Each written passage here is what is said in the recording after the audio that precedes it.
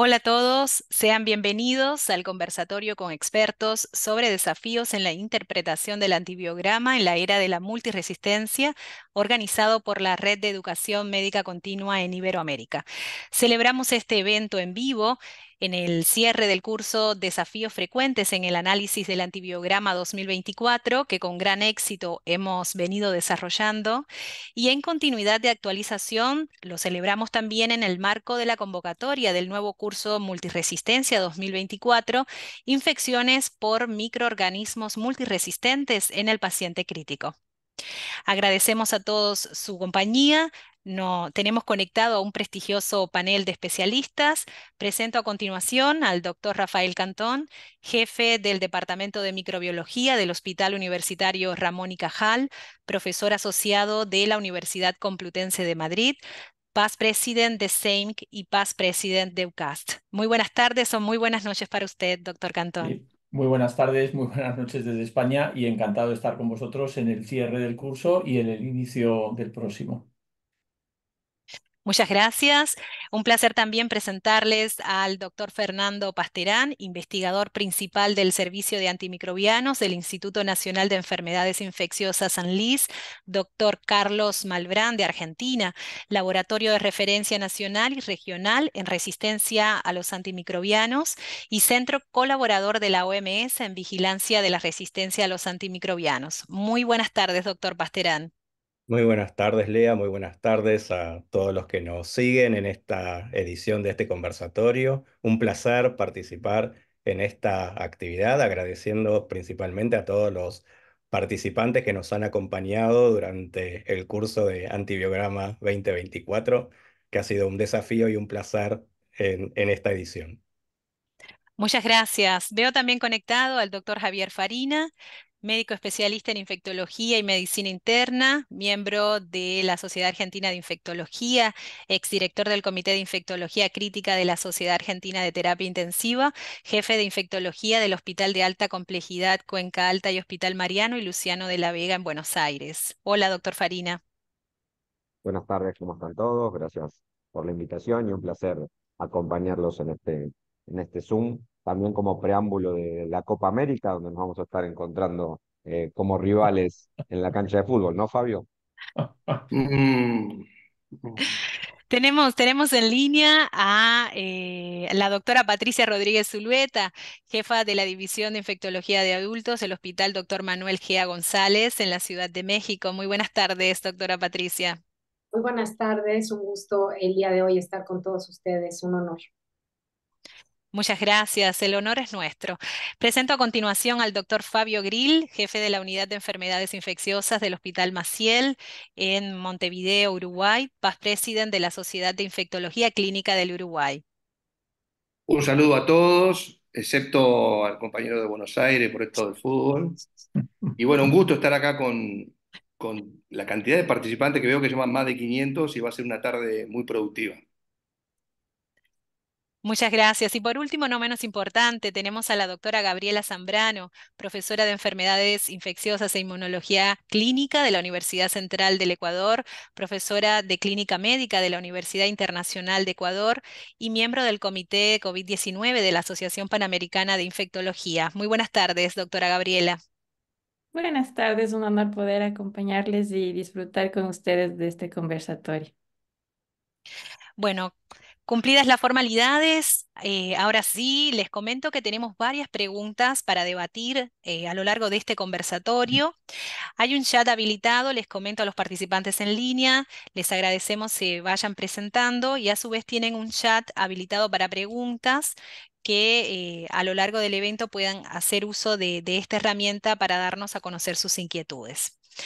A los panelistas en línea les cuento la primera de las interrogantes para comenzar. ¿Ven ustedes preocupante la situación actual de resistencias?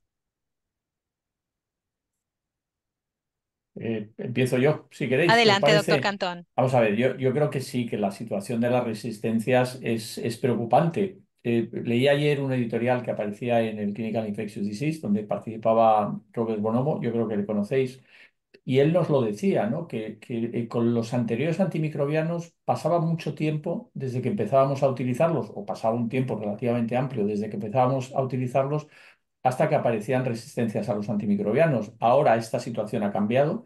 Con los nuevos antibióticos incluso sabemos cuáles van a ser los puntos débiles antes de empezarlos y luego en el día a día, en los antibiogramas que nos enfrentamos, pues vemos cada vez más complicaciones, ¿no? Esas enterobacterias con dobles carbapenemasas, esas pseudomonas eh, multiresistentes que aparecen R en todo el antibiograma y yo creo que esto nos está complicando ese uso de antimicrobianos y por eso pues yo creo que es necesario el tener este intercambio entre todos nosotros para mejorar el uso, el uso de estos fármacos.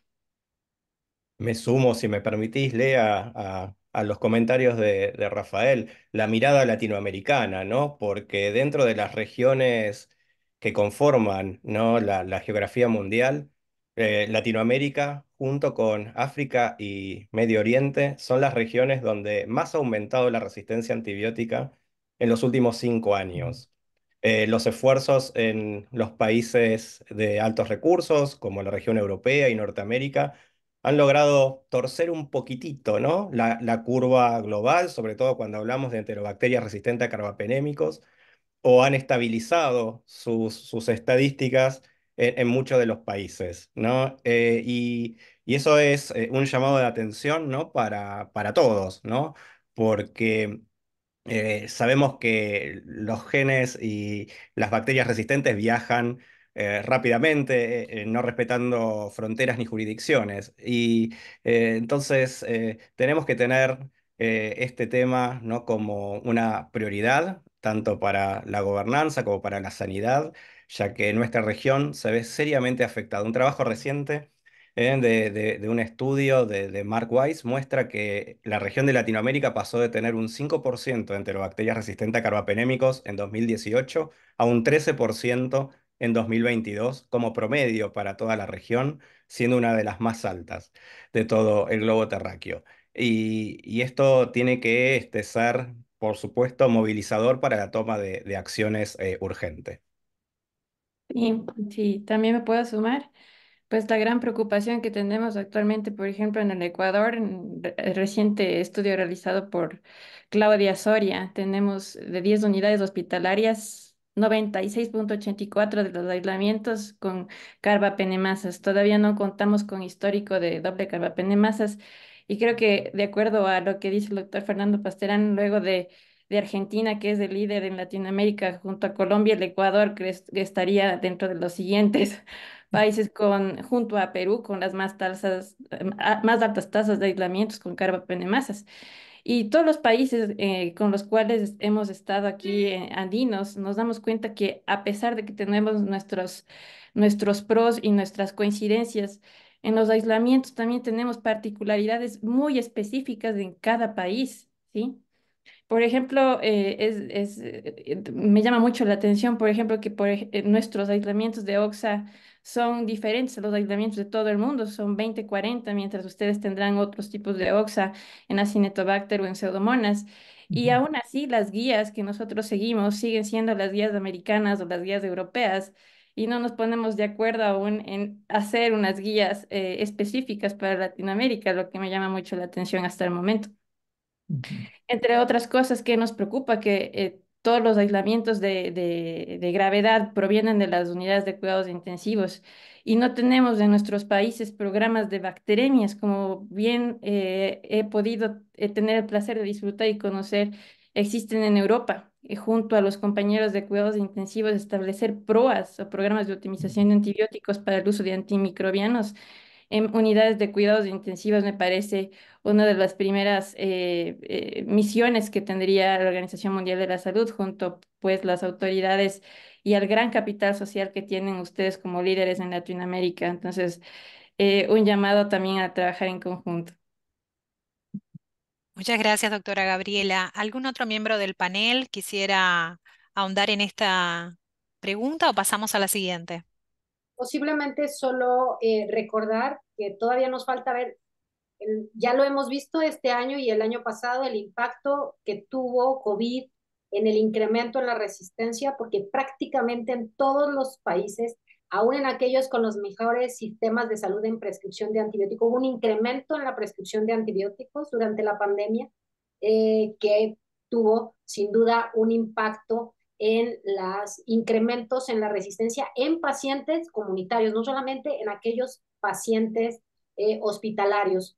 Eh, sin duda, esto será un doble desafío para la siguiente década eh, que tendremos que tener recursos y solo cuatro países en Latinoamérica tienen recursos destinados para programas de PROA. Esto significa que es el momento de exigir estos recursos que todos los países necesitamos para eh, poder tener no solamente una identificación adecuada, tener sistemas nacionales de referencia, tener un sistema de reporte, sino también eh, todas las herramientas terapéuticas necesarias para estos pacientes.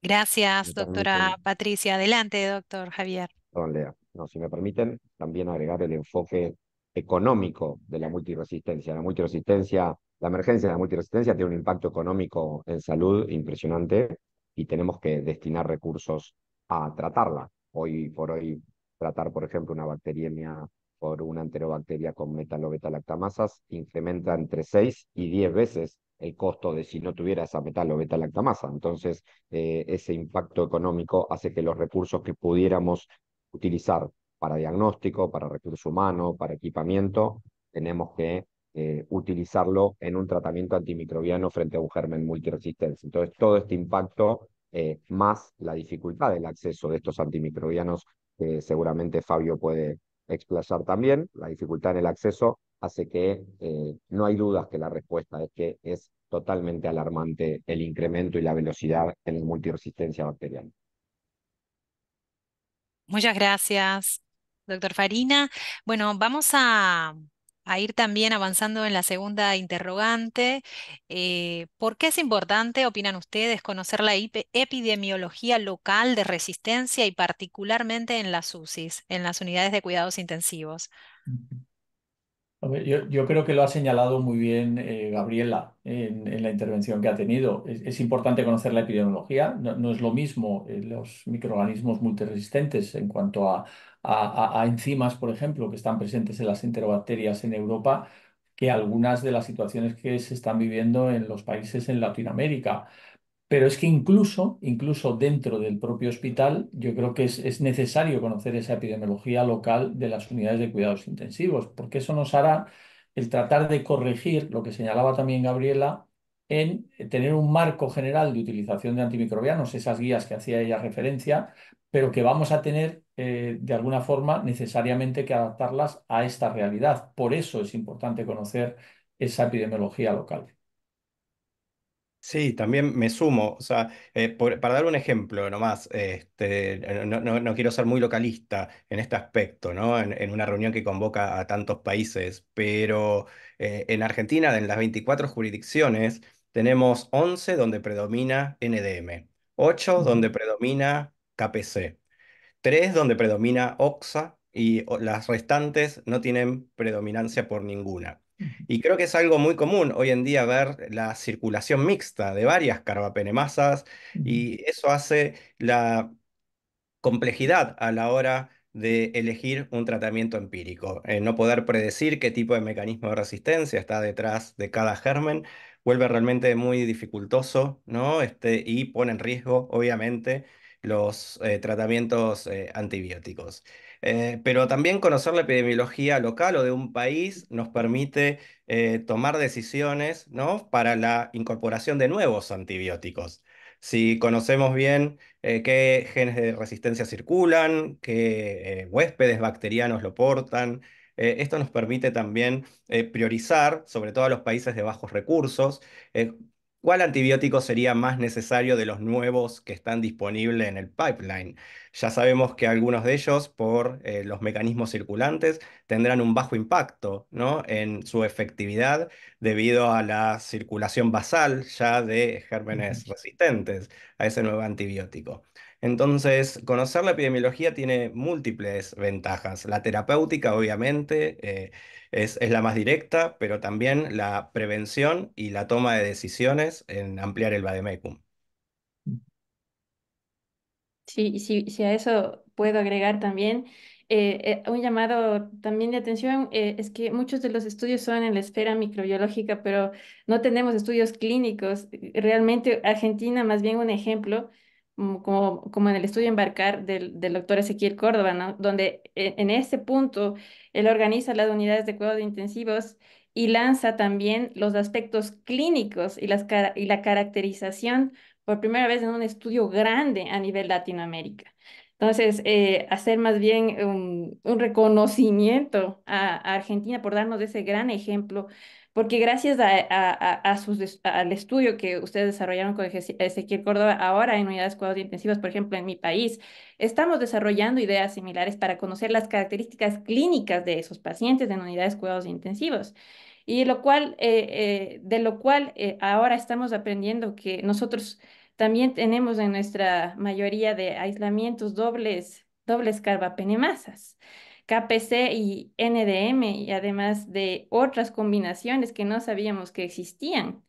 Todos estos pacientes que realmente son resultado del Sistema Nacional de Salud o de los sistemas propios con las propias características de nuestro, de nuestro país. No solo son los clones de resistencia, no solamente son los antibióticos, la antibioticoterapia empírica con menos de 80% de sensibilidad que nosotros tenemos como países con bajo acceso a antibióticos nuevos, sino también es el Sistema Nacional de Salud y cómo los nuevos antibióticos tardan en llegar después de, ser aprobados eh, y, el sistema de aprobación de nuevos antibióticos es muy lento en función de otras enfermedades en el mundo, como por ejemplo del 2017 al 2023 tenemos como 20 nuevos antineoplásicos y en cuestión de antimicrobianos tenemos apenas 16 en ese mismo lapso. ¿Qué es lo que está pasando? ¿Por qué el modelo de nueva aprobación de antibióticos eh, tarda tanto en llegar a los países latinoamericanos para nosotros también iniciar adecuadas antibioticoterapias empíricas?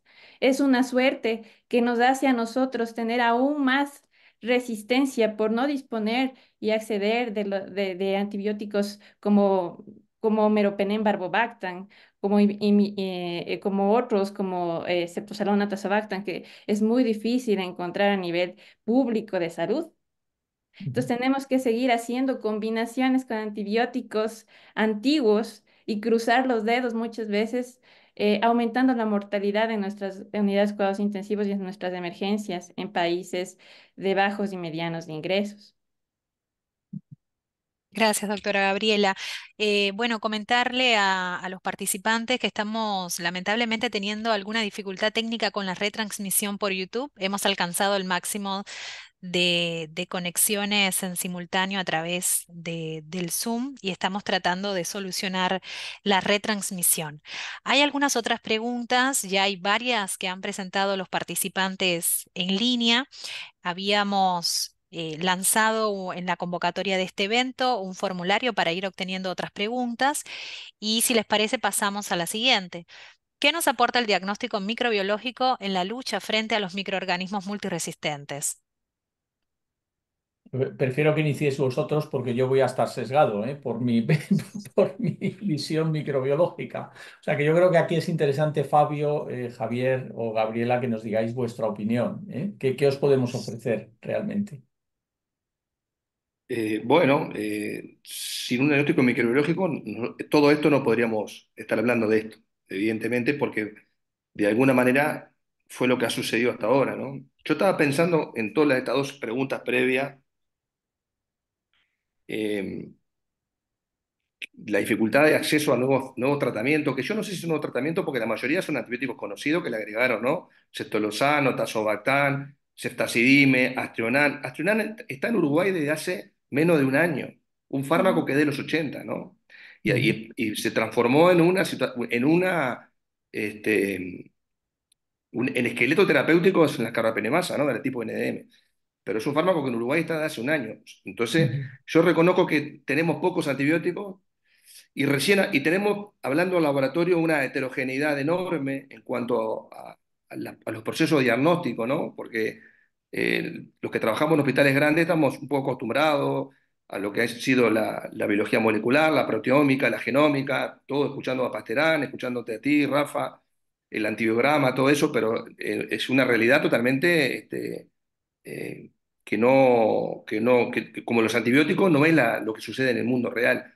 Hoy el, laboratorio de microbiología es, este, es una parte crítica y clave en el, y el microbiólogo tiene que estar en, el, en, la, habitación, en, en las rondas diarias, porque los problemas no tienen una sola explicación.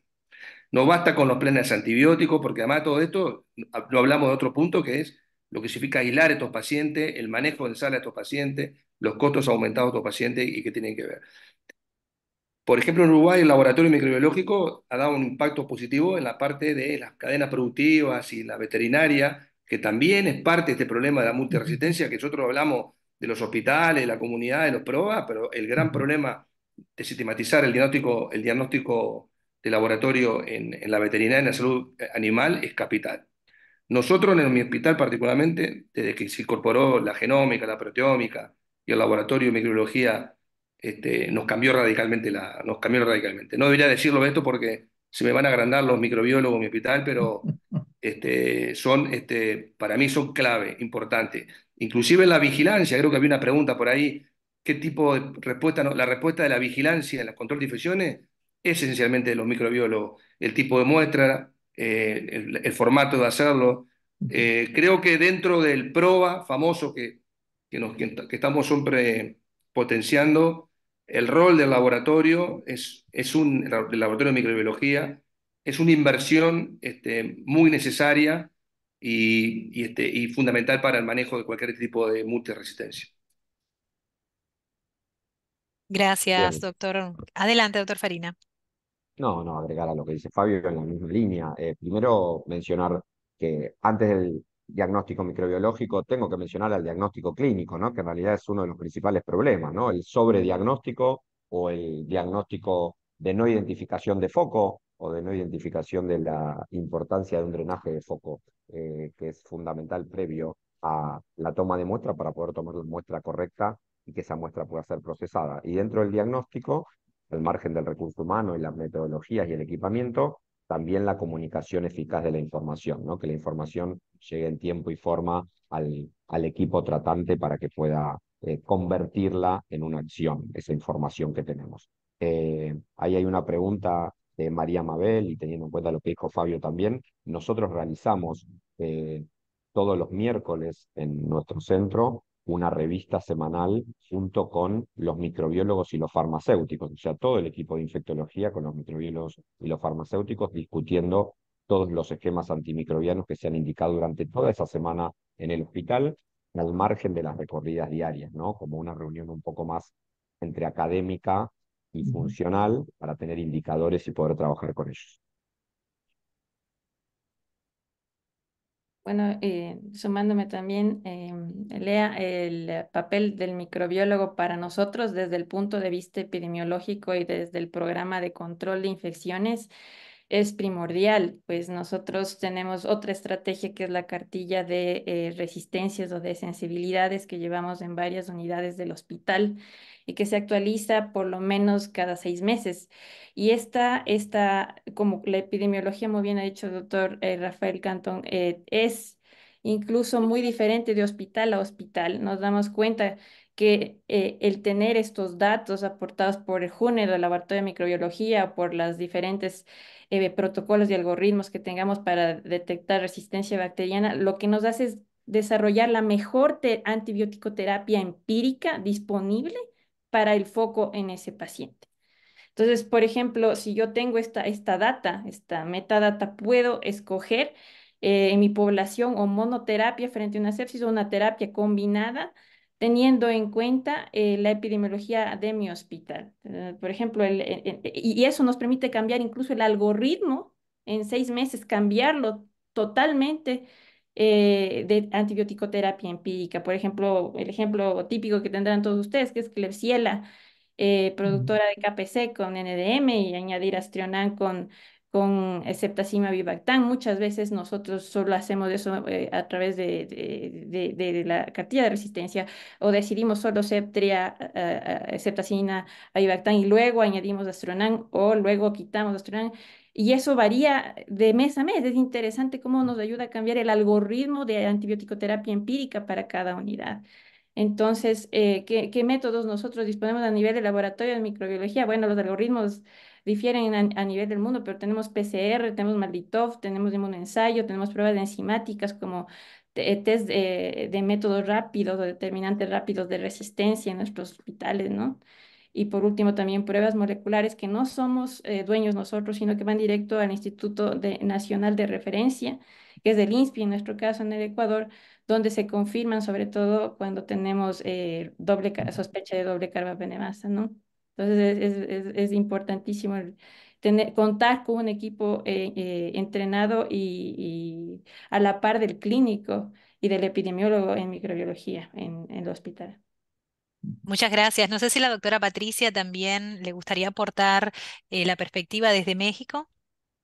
Sí, es prioritario el diagnóstico microbiológico, enviar la muestra adecuada, tal vez el paciente solo está colonizado, o sea, e, eso necesitamos la comunicación del clínico con la gente del laboratorio, pero por otro lado también estos laboratorios en sistemas como en México que tenemos un sistema de salud fragmentado, digamos, tenemos salud pública y tenemos salud privada o atención privada y después eh, necesitamos eh, laboratorios que están estandarizados. Y hay un artículo en Estados Unidos los últimos, de la última década donde por lo menos el 25% de los laboratorios, ojo, no tenían las últimas actualizaciones de CLSI en los laboratorios automatizados. ¿Esto qué significa? Que en un hospital va a ser sensible y en otro va a ser resistente. Es decir, no solamente necesitamos las herramientas diagnósticas, sino eh, estos cursos eh, y que todo el equipo de microbiología, que aunque no esté viendo al paciente, sepa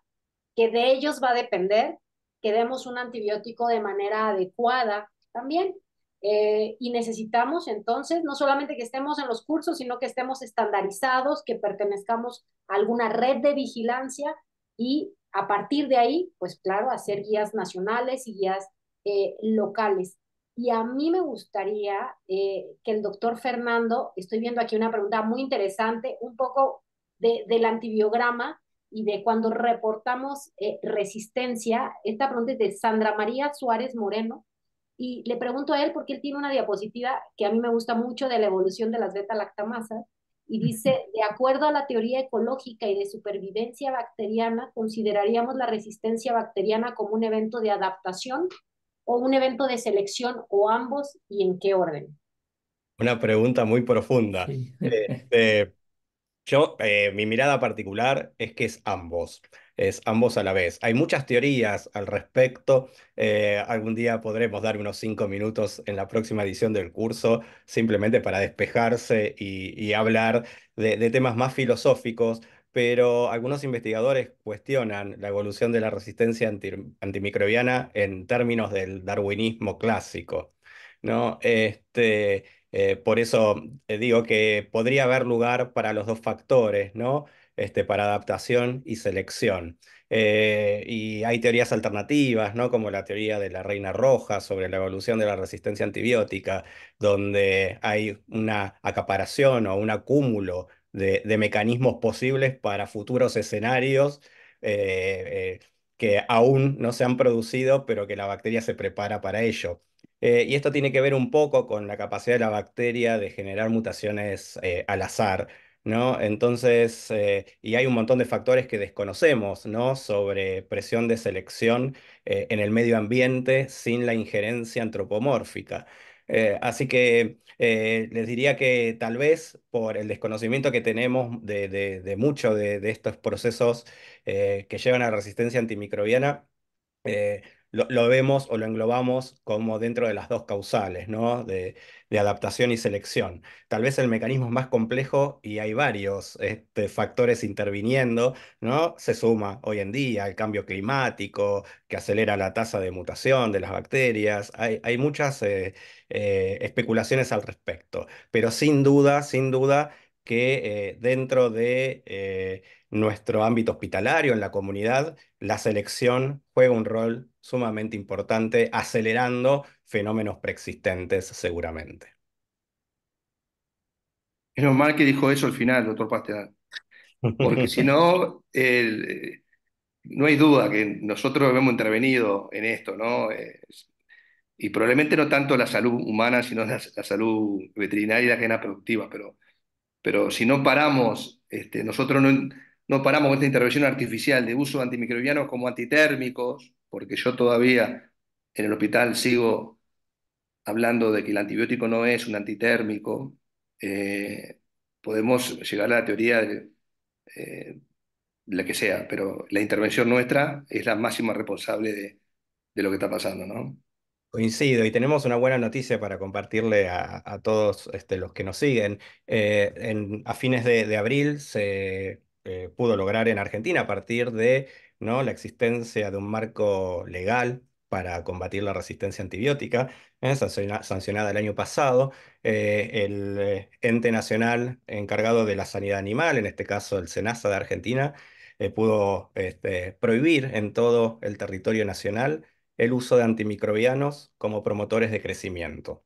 Yo creo que eso es un paso sumamente importante, no solo para acceder, ¿no? alimentos que no hayan estado expuestos a antibióticos lo menos posible, este, sino también para garantizar, este, la eh, eficacia de los pocos antibióticos que nos quedan eh, disponibles. O sea, e- es posible hacerlo. eh, son eh, tareas que requieren coordinación, esfuerzo, liderazgo, ¿no? Es muy importante el liderazgo por parte de las autoridades este, de salud eh, en este aspecto, eh, que no se dobleguen ante los intereses, las presiones y que se pueda mantener también una política de Estado pese a los cambios de administración, ¿no? Esto tiene este, un- una dimensión sumamente importante. Así que esperemos que tengamos un poquitito menos de presión de selección, por lo menos en el ámbito veterinario. Gracias, doctor Pasterán. Acá mm, les comento una de las últimas preguntas de, la previa para también ir dando cabida a las que se han presentado a lo largo de este evento. ¿Cómo valoran ustedes el uso de paneles virales como herramienta para evitar la prescripción de antibióticos? Eh, yo, creo que aquí es, eh, lo podríamos unir también a la utilización de las herramientas de diagnóstico que hemos comentado anteriormente, ¿no? Eh, hemos pasado de utilizar cultivos microbiológicos a, utilizar pues, eh, sistemas moleculares, pero incluso esos paneles sindrómicos, ¿no? Que, que- yo creo que ha sido objeto también de discusión en algunos de los, de los módulos de los cursos que vamos realizando, ¿no?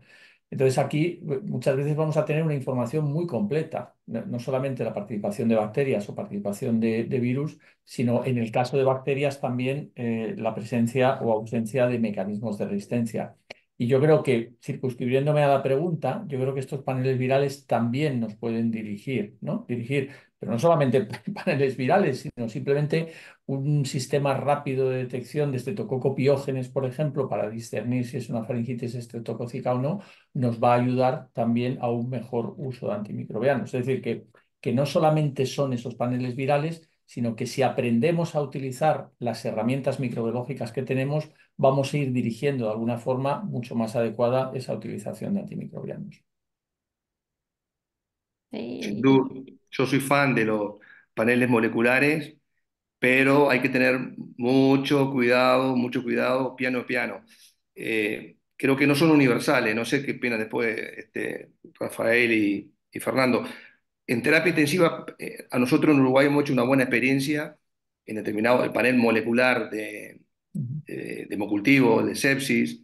Hemos tenido, este, que lo hemos diferido también para la infección de- neuroquirúrgica, el panel neumónico respiratorio, donde también además de, de posibles microorganismos tenemos mecanismos de resistencia, que eso creo que es la puerta más importante que nos dan, ¿no? que nos pueden anticipar mecanismos de resistencia en endocarditis. Creo que hay un, hay un lugar me parece todavía, que tienen casi, casi discutido, pero que no se puede generalizar, no se puede generalizar. Entre otras cosas porque los costos nuestros no son los mismos que tienen ustedes ahí en Europa, ¿no? Nosotros, los paneles nuestros son extremadamente caros, pero creo que hoy por hoy, con la genómica este, y los paneles rápidos, estos nos están dando una ayuda este, muy importante en el manejo de las infecciones complejas, sobre todo complejas. Sí, yo creo que ahí lo, lo ha señalado bien. Es decir, no, no se puede generalizar, por supuesto, el uso, pero precisamente en el paciente crítico, yo creo que eh, probablemente Javier lo, lo, vamos a discutir en el, en el próximo curso, en, en, algunos de los ejemplos, la utilización de estos paneles. Eh, también adelantas, Fabio, que esos paneles están diseñados pues, para unas indicaciones muy específicas, ¿no? Para bacteriemia o para infección respiratoria, eh, pero los estamos utilizando incluso fuera de indicación, ¿no? Aquí también hemos de ser mucho más cautos todavía, ¿no? Y aquí tiene que haber una permanente comunicación entre el laboratorio o el microbiólogo y eh, aquellos que estáis indicando su utilización, ¿eh? Porque la interpretación hay que tener, eh, hay que ser cuidadoso, ¿no? Hay que ser cauteloso en, esa información que se está ofreciendo y cómo vamos a poder luego modularla en función del síndrome que estamos viendo en ese paciente. Creo que es fundamental. Y yo no sé si entendí también la pregunta desde el aspecto cómo el uso de paneles virales puede disminuir la prescripción de antibióticos. También en ese sentido. Puesto que ahora, por ejemplo, vivimos un brote de, actualmente porque estamos con el fenómeno de la niña, estamos más bien sufriendo un enfriamiento cuando tenemos que tener el verano y tenemos ahorita un brote de influenza sincitial, COVID-19.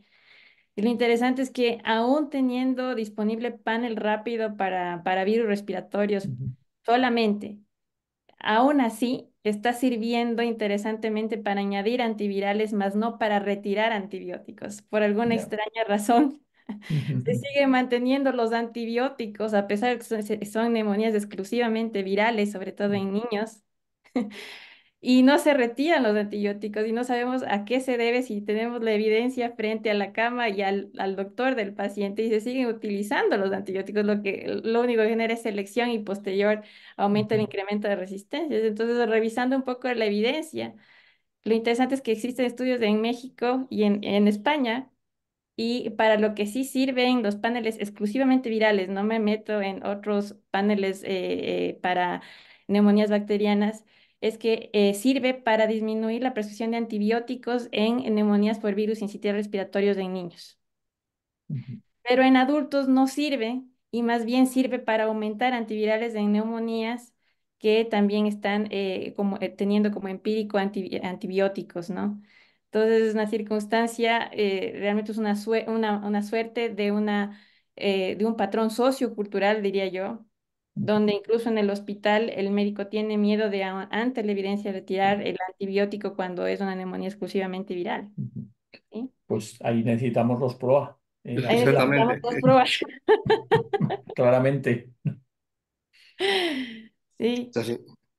Y de, de mi parte, por más que sea enfático, porque ya lo dije antes, acompañados de un correcto diagnóstico clínico, ¿no? Que están hablando de, de la interpretación y de la elección pero podemos encontrar un microorganismo en una muestra no estéril. Claramente podemos encontrarlo, pero hay que interpretarlo dentro del contexto clínico para ver si ese microorganismo amerita tratamiento. Y ni que hablar encontrar un gen en una muestra no estéril y también poder interpretarlo. Entonces el diagnóstico, el correcto diagnóstico clínico tiene que ser la base de nuestro PROA. Un programa de uso de metodologías diagnósticas tiene que ser parte de nuestro PROA y recién ahí la interpretación y la selección de los antimicrobianos. Gracias a todos los especialistas del panel. Si quieren, podemos ir avanzando algunas preguntas un tanto más específicas que tenemos también tanto desde la previa como durante la transmisión. Eh, ¿qué opinan sobre, mm, acá hace una consulta un participante, los hisopos de vigilancia con positividad para carbapenemasa? ¿Pueden tener algún aporte para iniciar tempranamente la terapia, aunque sea solo para detectar colonización? ¿Es aceptable iniciar una terapia empírica en base a este resultado? ¿Y cuánto tiempo lleva un hisopo? No, segunda, siguiente pregunta. Radicalmente respondido. No, no, no, Digo, a ver, no sé qué, digo, eh, interesante, esa pregunta es interesante porque tiene muchas puntas, pero como los estudios de colonización son estudios de colonización, y Javier nos dijo recién, este, el tratamiento antimicrobiano se sustenta en una clínica, ¿no? Compatible. Por ejemplo, una cosa curiosa me pasa en mi hospital a veces. Cuando hacemos cultivo de vigilancia en el programa de vigilancia microbiológica activa en la terapia intensiva, es cómico cuando se manda una muestra respiratoria y se pone vigilancia. Como es vigilancia, el médico ya sabe que eso no es, es colonización o es parte del proceso de conocimiento de la epidemiología, no se trata. Pero muchas veces se hace un cultivo respiratorio y viene un microorganismo y es complejo y eso gatilla, como no se sabe el, por qué se pidió, gatilla una cantidad de acciones, muchas veces antibiótico terapia, porque, bueno, está ese cultivo y muchas veces hacemos un diagnóstico clínico a través de una muestra microbiológica y a veces creo que es o al revés o junto.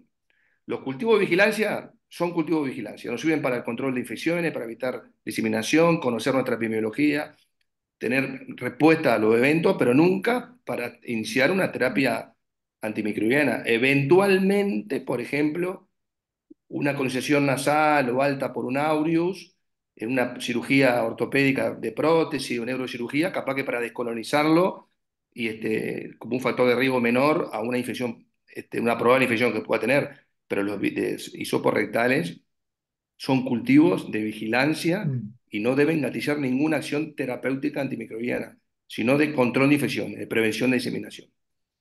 Igual Fabio. coincido con, co- coincido con el punto, coinci- perdón, eh, pero coincido con el punto, Fabio, obviamente, pero sí, y creo que a esto apunta la pregunta, es que si yo conozco la colonización de un paciente crítico y ahora tiene un cuadro clínico compatible con una infección, sea una sepsis, sea un shock séptico, sea una neumonía, o sea otro foco infeccioso, uno puede contemplar esa colonización conocida para elegir el esquema empírico. Eso sí puede ser una estrategia adecuada.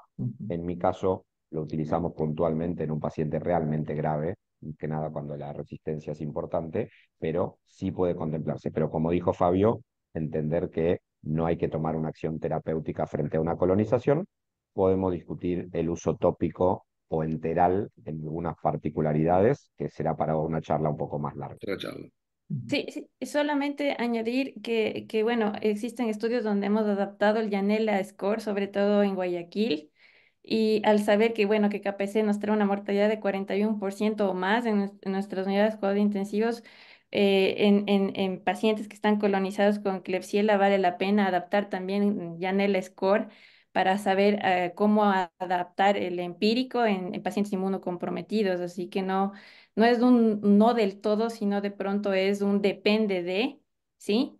Y eh, lo que estamos tratando es de validar justamente estos protocolos que hemos aprendido de otros países para poder predecir que en estas colonizaciones, quienes pueden sufrir realmente eh, infecciones verdaderas por eh, Klebsiella eh, productora de carbapenemasa. Por ejemplo, en, ese, en esa instancia, pues sí me sirve el, el, el rectal.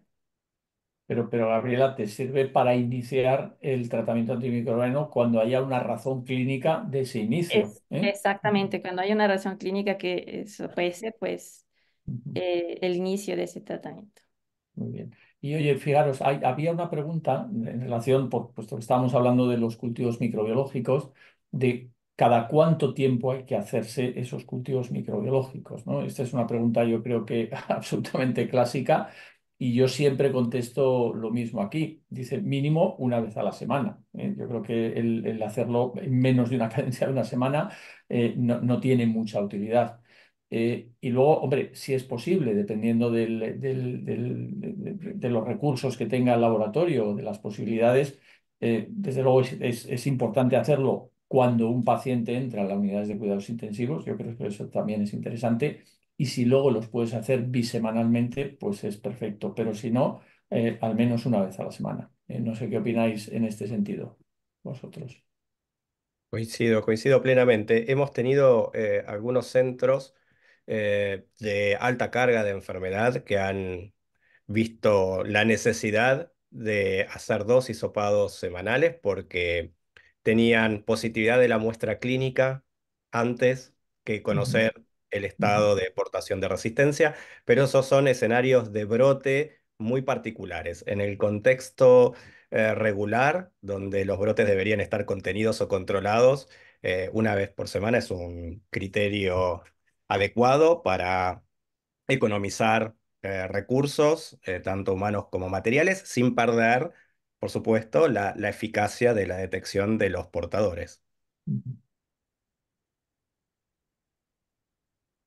Tenemos otras preguntas. Eh, les comparto acá una que realizó Carolina Gómez Cuello en el chat habilitado en este evento.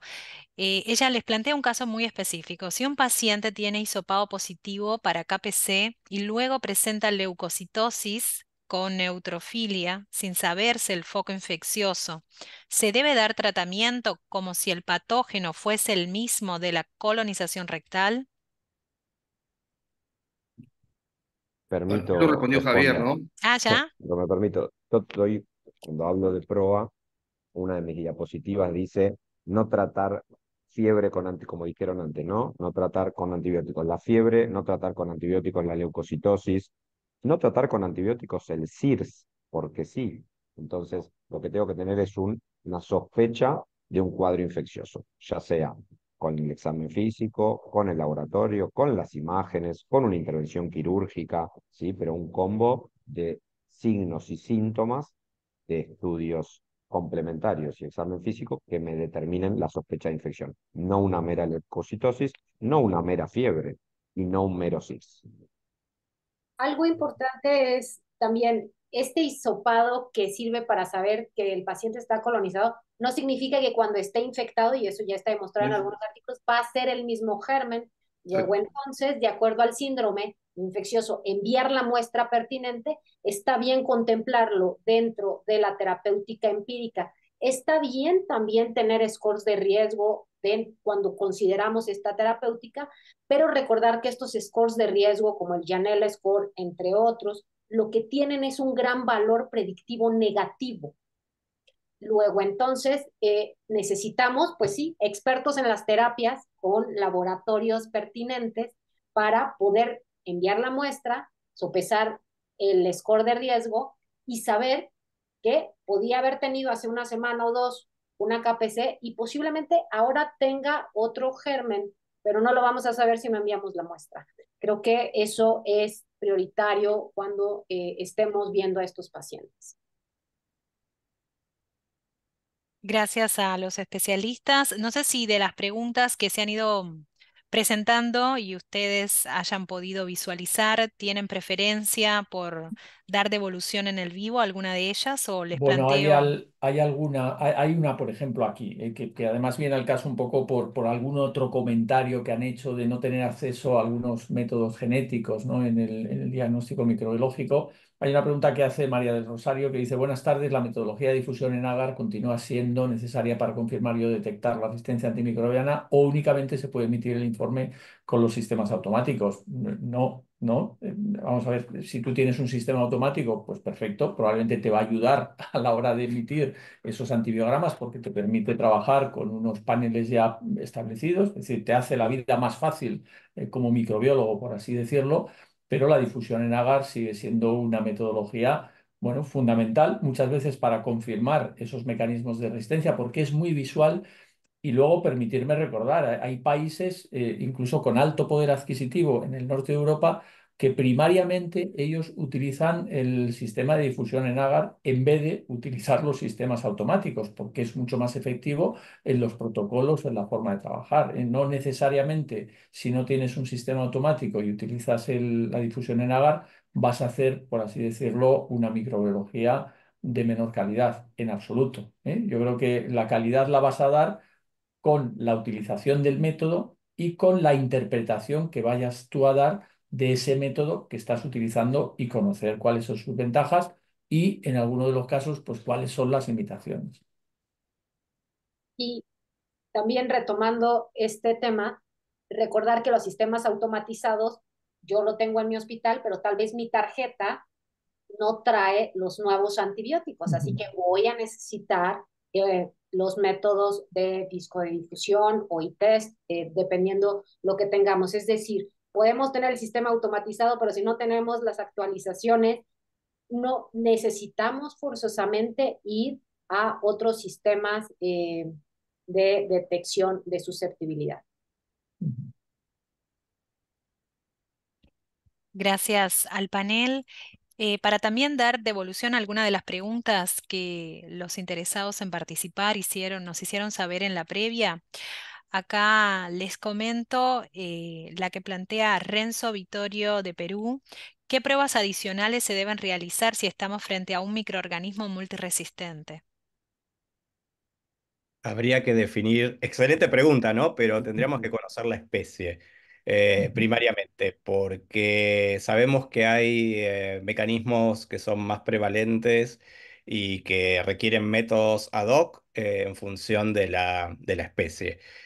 calculo que en un enterobacterial las pruebas mínimas que se deben incluir para buscar mecanismos de resistencia son la producción de beta-lactamasa de espectro extendido, la aportación de APC, ya sea plasmídico o propio de la, de la especie, la presencia de alguna carbapenemasa, la resistencia a drogas alternativas como colistin, por ejemplo, en, un microorganismo con resistencia extrema, ¿no? Este, son pruebas eh, que, que, definen ¿no? la, las conductas terapéuticas, son de alto impacto clínico. Esas pruebas eh, no, microbiológicas eh, no deberían faltar.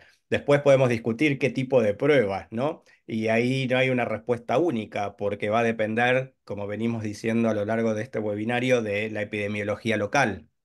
Si tienen más prevalencia de una DNDM, se preferirá un método. Si tienen más prevalencia de una acetofotaximasa, eh, tendrán preferencia por algún otro tipo de, métodos. Eh, también eh, es importante saber con qué recursos, ¿no? Este, tanto técnicos, económicos como recursos humanos cuenta el laboratorio a la hora de decidir las, las pruebas. ¿no? Este, hay pruebas que son de más fácil realización y otras de mayor complejidad, entonces también conocer el grado de capacitación del personal con que uno cuenta es fundamental para decidir las pruebas. Por suerte, eh, tenemos eh, oferta metodológica eh, amplia, ¿no? Y parte de lo que discutimos es que tal vez no hay ninguna prueba universal, ¿no? Que represente la posibilidad de hacer este diagnóstico en un solo paso. Eh, y eso este, necesita siempre también de una actualización continua porque los mecanismos evolucionan, eh, se requieren o se descubren nuevas eh, capacidades para detectarlas con ventajas este, claramente en tiempo de respuesta o en términos económicos y, eso hace que este, nos pidan el curso de antibiograma seguramente 2025, ¿no? Por toda esta necesidad de este, estar permanentemente eh, mirando, teniendo una mirada crítica de las pruebas y buscando su perfeccionamiento. Sí, Muchas sobre todo. Fernando, Fernando también conocer, yo creo que es importante las limitaciones que tienen muchas veces los sistemas diagnósticos. ¿No? ¿Hay, hay algún comentario al respecto, por ejemplo, en la utilización de las inmunocromatografías? Eh, un resultado de una inmunocromatografía negativo no significa que ese microorganismo no produzca una carbapenemasa, no nos cubre todas las carbapenemasas o no nos cubre, mejor dicho, todas las variantes eh, para las cuales eh, ha sido diseñado. Es decir, no, no, eh, son monoclonales y no siempre logran esa especificidad para esas modificaciones en la proteína, ¿no? por lo tanto, un resultado negativo no te excluye. Tal cual. Y creo que parte de, de los procesos culturales que tenemos que cambiar, ¿no? Es dentro del laboratorio eh, tomar ya como una rutina hacer la validación de los métodos.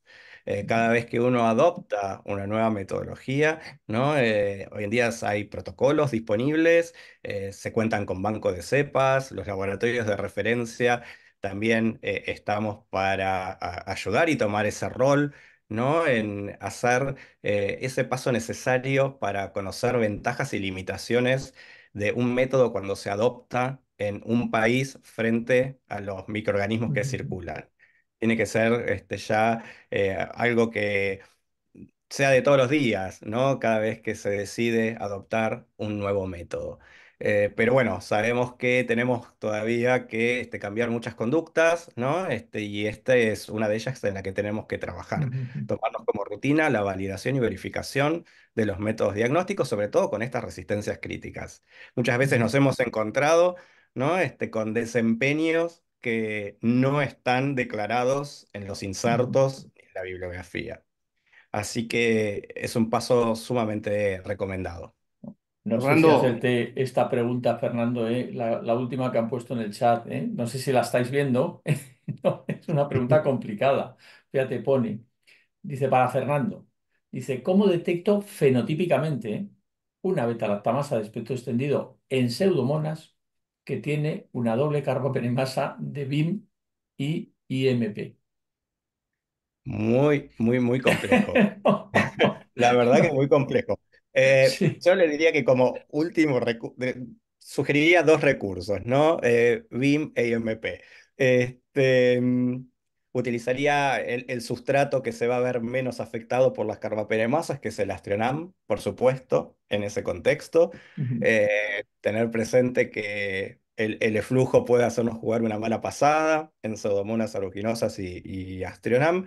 Pero bueno, eh, le largaría la batería de pruebas que conocemos sobre el monobactam. Este, intentaría hacer una sinergia con clavulánico, una sinergia con imipenem también, a ver si hay deformaciones.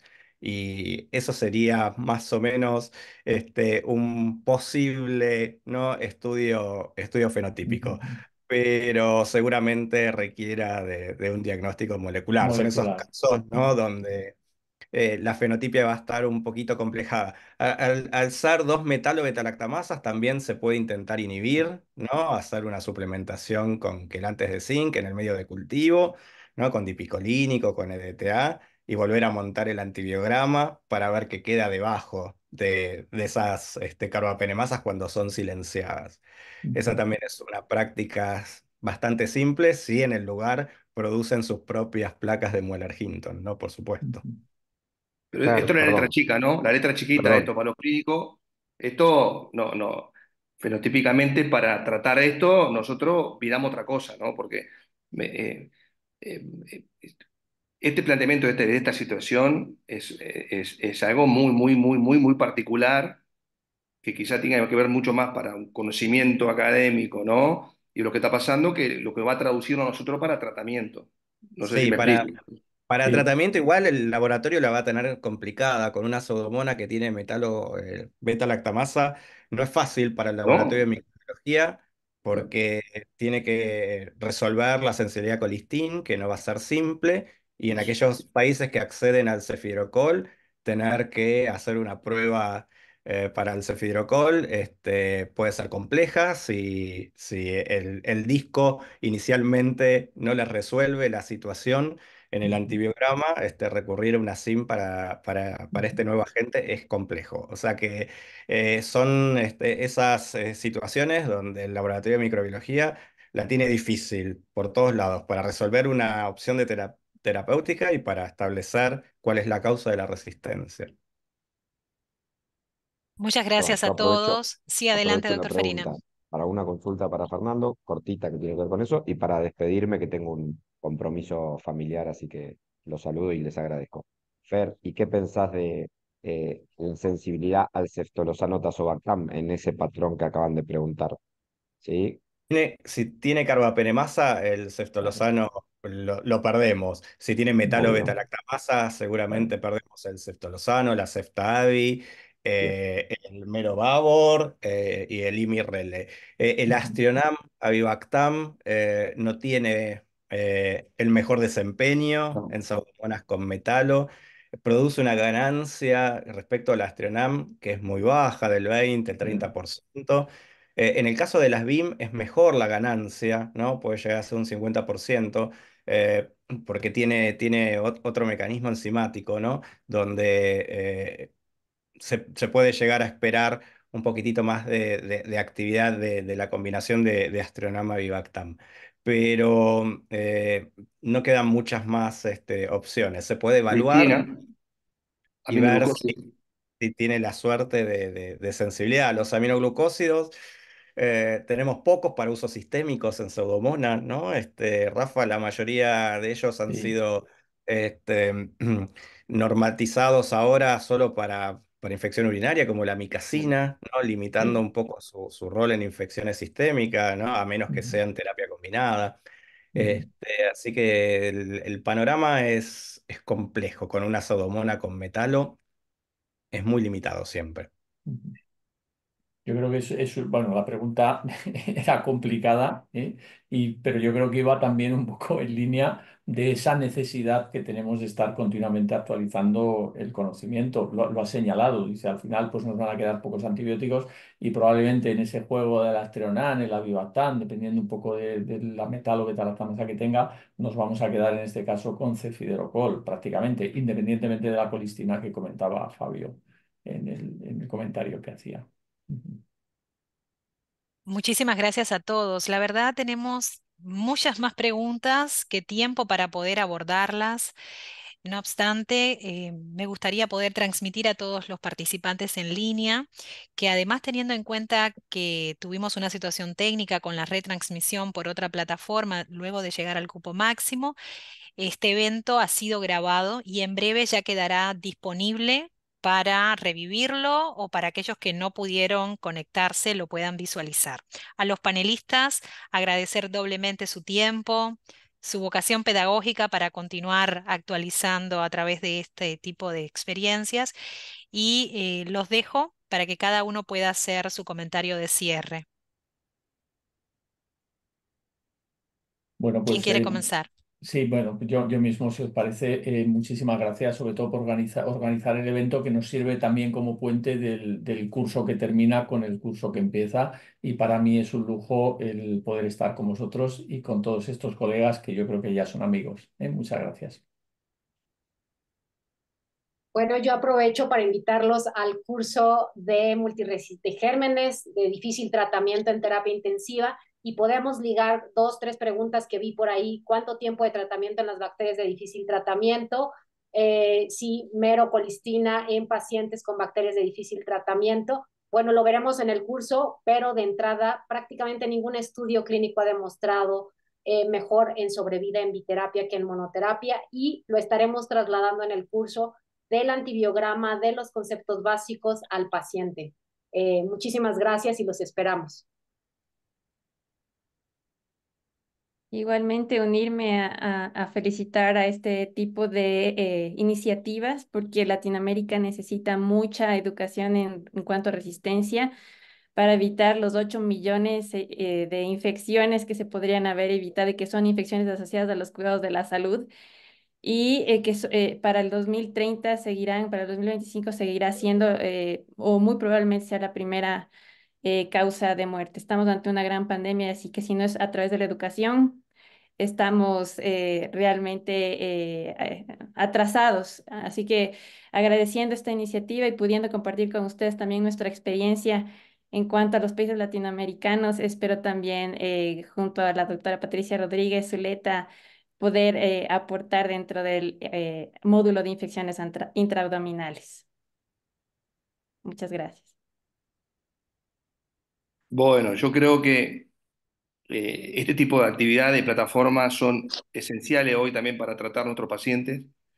A veces es difícil de mencionar tener la oportunidad de estar con Fernando Pasterán, Rafael Cantón, eh, sí, face to face, o sea, poder hablar y sacarnos dudas. Esto, esto es este, algo maravilloso que permite este tipo de plataforma y curso, poder este, ver lo que pasa con Patricia en México y su región, con, este, con Gabriela. Creo que esto a veces no, dimensionamos el valor que tiene, ¿no? De, tener esta posibilidad de intercambiar con Javier, con Javier quizá este, por la, cercanía más seguido y lo que las preguntas que nos has hecho, que, que me, han dejado a mí este, pensando un montón de situaciones de cómo, la, nece- cómo hay una necesidad de intercambiar, de aprender y actualizarnos, ¿no? Porque la vida real este, nos va ganando por goleada. Yo agradezco haber estado, que me hayan invitado y poder ver todos tus amigos y, bueno, espero vernos pronto en el curso este de octubre, que va a ser también muy, muy importante. Saludos a todos. Bueno, me, toca despedirme. Eh, quiero, ¿no? En primer lugar, eh, agradecer a Evimed porque siempre nos da este espacio y esta oportunidad para intercambiar conocimientos con estos amigos y con todos ustedes. Eh, agradecer a todos los participantes que nos acompañaron en el curso de Antibiograma 2024 por su fidelidad, su compromiso, sus ganas de aprender. ¿no? Agradecerle también a mi co-coordinadora que no pudo estar presente, del curso eh, Antibiograma 2024, la doctora Alejandra Corso. Eh, entre los dos les queremos mandar muchísimas gracias y muchos cariños a todos los participantes del curso que se cierra el día de hoy y desearles muchísima suerte a todos aquellos que se embarquen en el curso de multiresistencia del 2024. Así que los esperamos seguramente y estamos siempre disponibles. ¿eh? por más que el curso se cierre, eh, las bacterias siguen, los conocimientos cambian y trataremos de acompañarlos en, todo este camino eh, que ya es una lección y un compromiso ¿no? entre todos nosotros. Muchas gracias. Bueno, gracias a ustedes por los conocimientos compartidos y a todos los colegas que nos acompañaron. Hasta un próximo encuentro. Buenas.